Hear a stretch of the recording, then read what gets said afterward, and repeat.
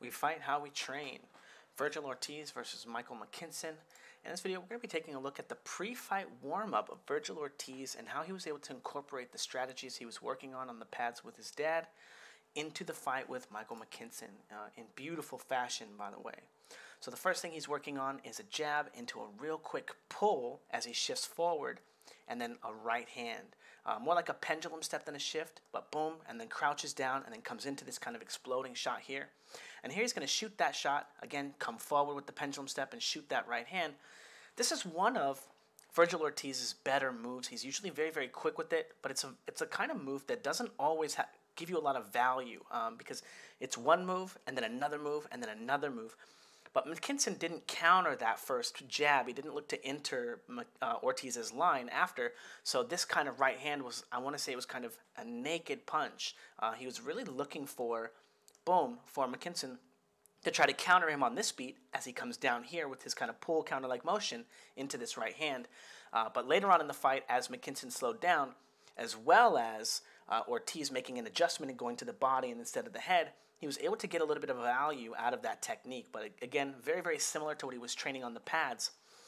And now, taking a look at this move here, this was one of the things that McKinson did a lot of. And we can see here, Ortiz is practicing spinning him, not allowing him to get that motion. As you see, he controls his head here and then kind of tosses him around to keep him not only in the corner, uh, to give him the continued uh, positional advantage, but to stop him from maybe coming up with a headbutt, finding a way to wrestle him, and do all kinds of other stuff. And now we get to the kind of knockout sequence here. And it's really important, okay?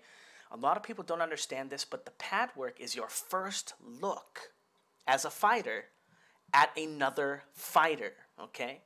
Now, as we see here, he's going to be jabbing, and watch his coach his dad be pulling away and showing him this position here, right? Look at all the position that he goes in. He's going to control him with the right hand, and he shows him that the left body shot is open here, right? So he's showing him the one, two, three, and he's showing him what it's going to look like. As his opponent starts pulling away from him, it's going to be opening up that space for the body shot.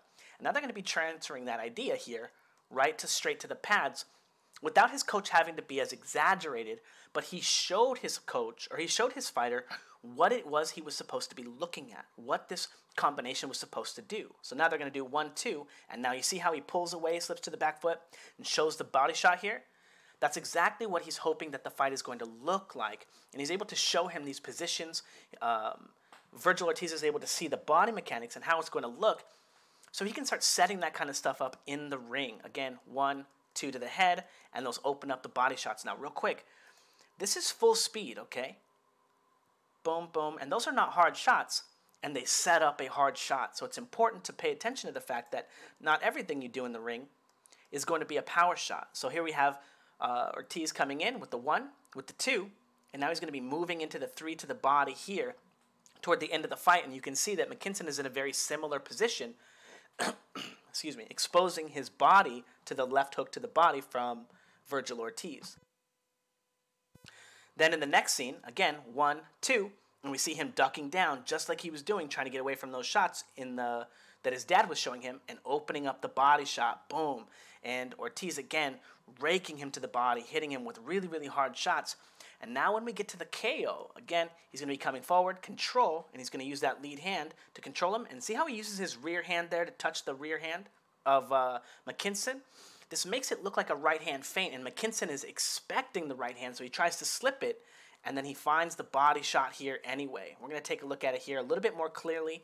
Control on the lead hand, control on the rear hand, and then boom, an excellent, excellent body shot there. Boom, boom. And again, this same pattern is set up on the pads with the one, the two, and then the three. Uh, as we take a look at this sequence, whoops, back here. Boom, boom, boom. And again, if we pay attention, one shifts his weight to the back foot, two shifts his weight to the front foot, and that allows him to hide the body shot. Very, very similar to what he's doing here. One, two, shifts his weight forward, and then rips that right hand back and launches himself into an excellent, excellent body shot. Uh, if you enjoyed the video, guys, I do videos like this as much as I can find pre-fight film of people's training and stuff and the fight and we fight how we we train series uh, so don't forget to like comment and subscribe and if you guys want to check out the full entire fight film study it's on patreon uh, the full fight it's a complete breakdown, all the tactics, everything that everyone's doing. Uh, Patreon is 10 bucks to sign up, 10 bucks a month. And if you're looking for someone to take a look at your film study, at your training videos, at the way that you shadow box, the way that you hit the heavy bag, the way that you hit the pads, the way that you fight and spar, check out my coaching Patreon. It's 50 bucks to sign up, 50 bucks a month, uh, and I will go over all of your training video. I'll teach you the best ways to transition your weight, learn to get on the line, get off the line, set up your punches, and all from what you've already learned and accomplished doing in the sport of boxing. Only adding to it, not completely changing who you are as a fighter necessarily, but allowing you to grow and, and experience, I'll say, uh, all the fun things you can experience in the ring. Okay, it's a lot more fun to slip and pull and roll and do all that kind of stuff in the ring if you if you know how and you have the confidence in your training. Um, so if you're interested in, in learning how to fight and learning how to to become a better fighter, uh, check out the coaching Patreon. Again, it's 50 bucks to sign up, 50 bucks a month. Um, and every time you send in videos, I will have ways to help you improve, improve your speed, your power, your technique. Um, and uh, if you're interested and you're looking for uh, a way to grow and learn boxing by yourself, you can check out the Fouts Boxing Combat System. Uh, it's $2.99. The link is in the description. Um, uh, it's very, very popular right now. Um, and it'll teach you how to hit the pads and how to how to set up your pool counters, how to get on the line, how to set up your pendulum steps, how to set up your power punches. It'll teach you theory about about how to stay safe on either side of the line, um, as well as the best ways to train them. Okay, as well as uh, my patented shadow boxing styles.